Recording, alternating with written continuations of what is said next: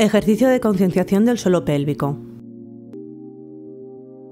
La paciente se colocará sentada sobre un fitball. Se colocará un almohadón o un pañuelo doblado sobre la zona del periné. Este ejercicio sirve para que la paciente sea consciente de dónde se encuentra esta musculatura. Para ayudar a conocer toda la zona, le pediremos a la paciente que deslice su pelvis en movimiento de anteversión y retroversión sobre la toalla, pañuelo o cojín que hayamos situado.